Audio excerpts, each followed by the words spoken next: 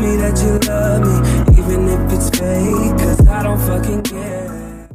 Hey, what is up you guys? This is Nacho here and welcome back to another Call of Duty Infinite Warfare video. In today's video, I'm showing you guys the new contracts that just came out for Infinite Warfare. So once again, no weapon update. Infinity Ward did say that there was going to be a huge title update either this week or next week 100% for sure. So that pretty much means next week 1000% sure we can be sure there's going to be weapons. I know we've been saying that for a couple of weeks, but I think E3 set them back a lot with World War II. But looking at this week's contracts, as you guys can see, honestly, kind kind of crappy. It's pretty much similar to what we had last week, just in a different form. So one challenge that I have is earn 125 kills with the Stryker FTL rig. Another contract that I have is to earn 125 kills on the assault rifle. I got disconnected from the Call of Duty servers right there. I do not understand what is going on right now. But uh, these are the two contracts that I got. The other reward is the Phantom rig hack. And uh, honestly, man, pretty doo-doo. It's the same as last week. I'm going to grind this out real quick and try to make an opening video of this a little bit later on so that way you guys can see what you get out of it.